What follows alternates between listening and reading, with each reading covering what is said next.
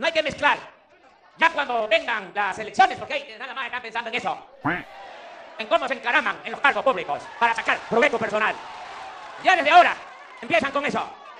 Pero, ¿y dónde están los ideales? ¿Y dónde están los principios? ¿Y dónde está el amor al pueblo? ¿Y dónde está la honestidad? Y aquí lo he dicho. En una ocasión vine hace como 10 años y estaban de aplaudidores de un candidato. Y me hacían caso a mí. Un candidato a presidente municipal. Y lo mismo, ahí andan como 20, 30 candidatos a ser líderes del sindicato o de la sección de petróleo. ¿Para qué?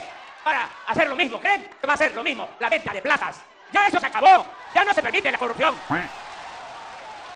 Miren, ahí está, ahí están los gritos.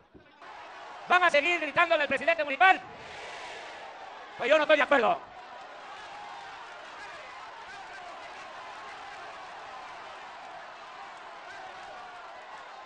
No voy a hablar, ya saben que yo soy terco. Hasta que escuchen.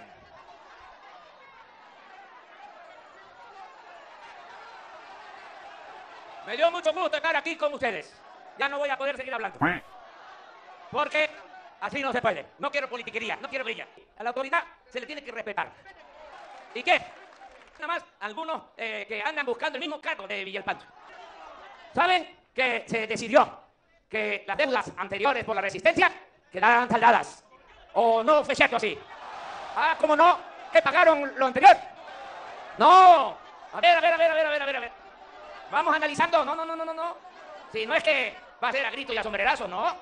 Aquí es la cabeza, aunque se tenga corazón caliente, pero la cabeza fría. A ver, ¿no hubo borrón y cuenta nueva? A ver, que levanten la mano los que digan que no hubo borrón y cuenta nueva. Ahí está, ya se. Que levanten la mano los que sostienen que sí hubo borrón y cuenta nueva. La mayoría. Bueno, con decirles que hasta lo tuve que padecer, porque en otras partes del país me decían, como es usted de Tabasco, allá sí, hubo borrón y cuenta nueva, y acá no. Y ahora ustedes mismos, mis paisanos, me dicen que no. ¿Hubo borrón y cuenta nueva? Puedo preguntar.